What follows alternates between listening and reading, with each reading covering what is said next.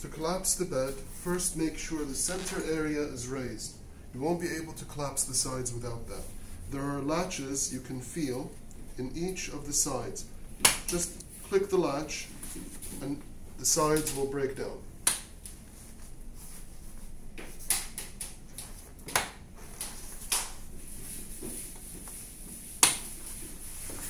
Now raise the center area some more and the whole bed will fold.